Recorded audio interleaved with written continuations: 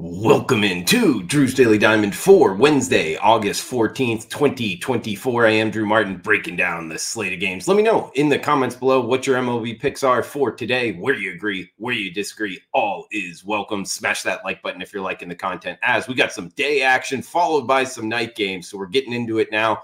No waiting around. 340 Eastern start time. Colorado Rockies, Arizona Diamondbacks. NL West battle between number two in the standings that's the D backs and the Rocks sitting at the bottom, but they got Tanner Gordon on the hill. He's up against Jordan Montgomery, the lefty going for the Diamondbacks, minus 230. That's Arizona as the home favorite, nine and a half being the total. I bring up Tanner Gordon going for the Rocks.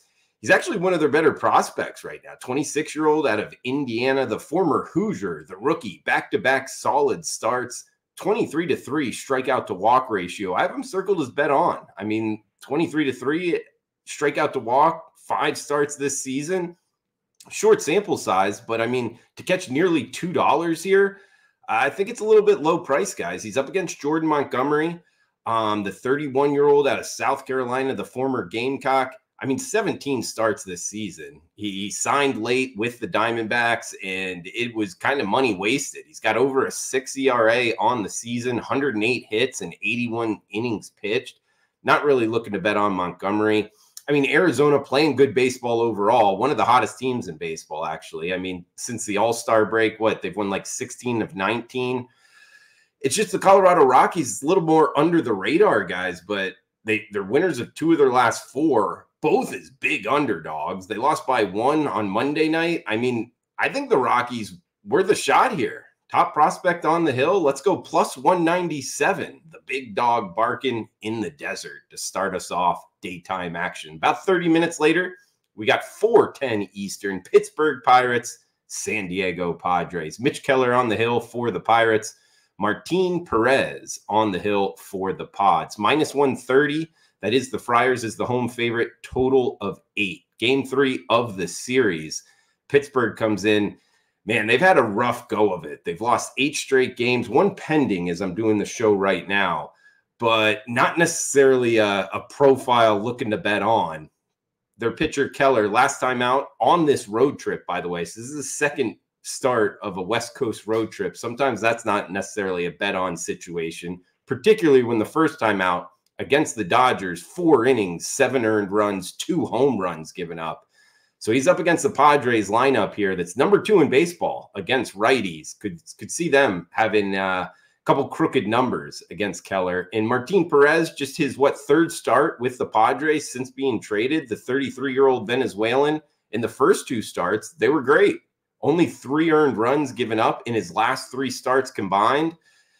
Mentioned that Padres lineup against righties, 17 and 3 their last 20 since the All-Star break. Padres bet on all the way, listing Martin Perez as the starter. We can get him as low as minus 128 in the overnight market. So uh, the next day game, we are on the Padres over the Pirates. Heading to the night slate up next, 640 Eastern time. It's the St. Louis Cardinals in the Cincinnati Reds. NL Central battle here with Kyle Gibson on the hill for the Redbirds. Carson Spiers going for the home Reds. Nine and a hook being the total. Cardinals minus 108 short road favorites. Coming in just what, a game or two over 500.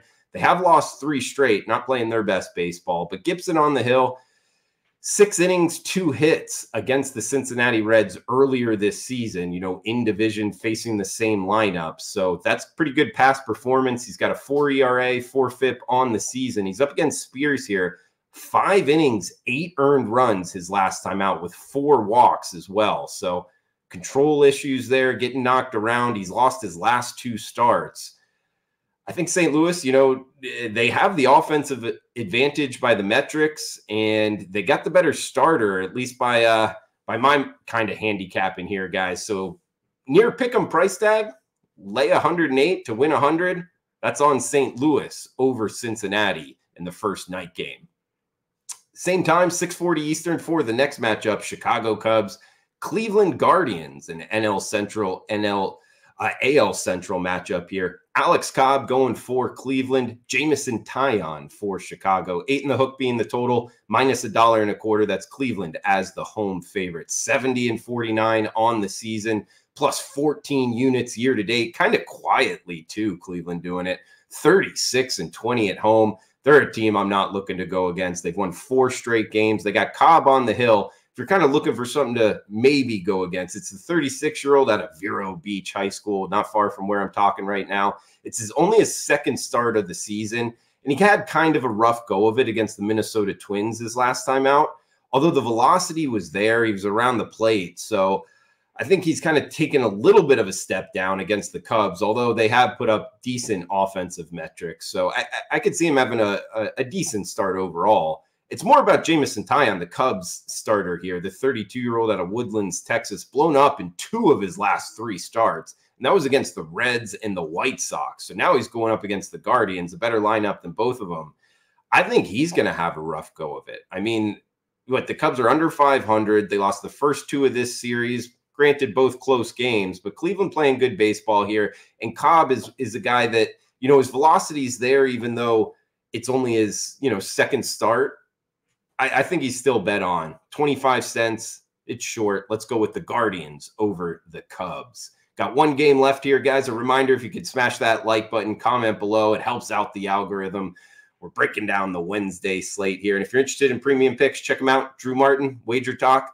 Uh, we got the uh, three day package, or actually the seven day package, excuse me, for the price of three days. So that's a pretty good buy there at wagertalk.com if you like saving money. All right, 710, last game up. It's the Oakland A's, New York Mets. David Peterson, the lefty, on the hill for the Metropolitans. Joey Estes going for the A's. Minus 190. That's the Mets as the home favorite. Eight in the hook being the total. Athletics come through with a big dog for the win last night. And now they've won three straight games and up against the Mets here. I mean, what they've lost four straight now, getting swept by Seattle and then now losing the the opener back home. Guys, we went over it yesterday, a big spot play of why we were going against the Mets. The travel, be quick with it here. New York, then they went to LA, St. Louis for one game, at Colorado, at Seattle, now back to New York. And they've only played the first game of this series is their only home game of the month of August. And sometimes that catches up with teams. Sure enough, uh, they've dropped, uh, what, four straight games now. I guess one reason to kind of look to bet on the Mets, though, the 28 year old first rounder out of Oregon, David Peterson, he's been pretty good this year. He really has, and he's never faced the Oakland the Oakland A's, so that's usually a bet on. The only thing is Joey Estes going for the A's He's a rookie, 16th rounder out of high school in 2019. I mean, 16th rounder out of high school just a few years ago. You normally don't see that profile already in MLB, but the 22 year old, they obviously some see something in him. And sure enough, his last five starts, he's been great. No more than two earned runs given up. That includes lineups like the Phillies and the Dodgers. So I think he could have a solid start here, especially with kind of the cobwebs from all that travel and the Mets lineup hey, look to go against them. They're a bottom five lineup in over the last two weeks overall by weighted runs created plus. So hey, let's let's kind of pile it on here, guys. We were on the A's last night with a big dog plus 165 in this one. Let's end it. Oakland A's plus 165 over the Mets. In recap, uh, we had the Cleveland Guardians minus the dollar in the quarter over the Cubs. We had the St. Louis Cardinals minus 108 over the Cincinnati Reds. San Diego Padres, Martin Perez on the hill, minus 128 over the Pirates. And the first game we broke down, first game up, 340 Eastern. It's the Rockies, big dogs, plus 197, near $2 over the Arizona Diamondbacks with their prospect Tanner Gordon on the hill. So that does it for Drew's Daily Diamond Wednesday, August 14th. We'll be back tomorrow. Come back and join us, guys. Smash that like button. Enjoy the rest of your Wednesday. Cash those tickets. Thanks for tuning in.